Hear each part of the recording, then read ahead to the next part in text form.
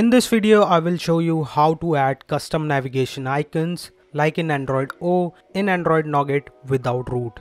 Now this is a hidden feature of the Android Nougat and to get this feature working, we need to have either the root access or for the non-rooted users, we need to send an ADB shell command to grant a write secure settings permission to a particular app which then can modify a specific setting. So let's go ahead and do it right now.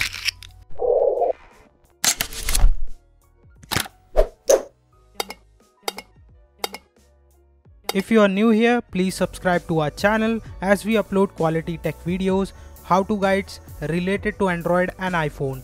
So don't forget to subscribe and press the bell icon. So the first thing, go to the settings and in about phone tap on build number about 5 to 6 times. This will activate the developer options and, and under developer options enable USB debugging. Now next open up Play Store and install custom navigation bar. Now this app's link is given in the description. You can use it directly to install it instead of searching it. Now open the app, simply tap on the arrow icon and it will take you to the next page. Now we need to grant write secure setting permissions to this app. Now if your device is rooted, you can grant this permission by granting it the root access. Now if your device is not rooted, connect your device to the PC and make sure that your PC has ADB drivers installed. If the ADB drivers are not installed, I recommend you to please use the link given in the description to install the ADB drivers. Now next open the command prompt, paste and execute the following commands by hitting enter. This will grant write secure setting permission to this app. The command is given in the description so just copy and paste it. Now go back to your device and tap on arrow button again. This time it will allow you to proceed without root access. Next it will ask you to perform a compatibility test. Proceed with the test. Now an arrow will appear in the navigation bar.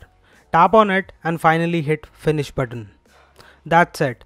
The setup is done now you can add custom icons and extra buttons in the navigation bar without root permissions.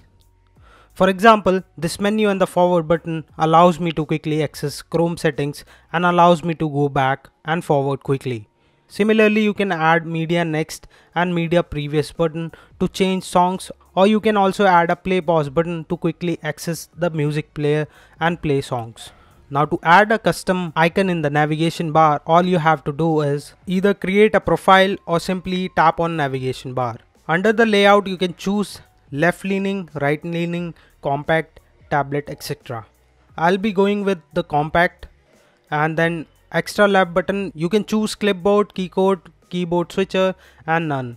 I'll be choosing the key code to define a key. For example, going forward, play, pause a song or increase or decrease the brightness of my screen. So under the key code, I will find the particular function that I want to perform. For example, here I'll be choosing media previous and for the previous I will use the arrow left and uh, similarly I'll choose key code in the extra right button. Under the key code I'll choose media next and under icon I will choose arrow right. You can choose skip next or skip previous also or you can also browse a particular custom icon that you have created or downloaded from somewhere. Now once done with that you will see the arrows are there and when you press it the songs will start changing you can do a lot of customization, it's super easy and you can create multiple profiles and use app like Tasker to open a profile for a particular app. Now the free version is limited to two profiles only, so to add more profiles you need to purchase the pro version. Let me know your thoughts in the comments down below. Please hit the like button and make sure to subscribe to our channel for more videos on Android tips and hacks. Also, in the next video, I will be showing you how to heavily customize the navigation bar without root. Now this was all in this video. Thanks for watching guys. Have a great time.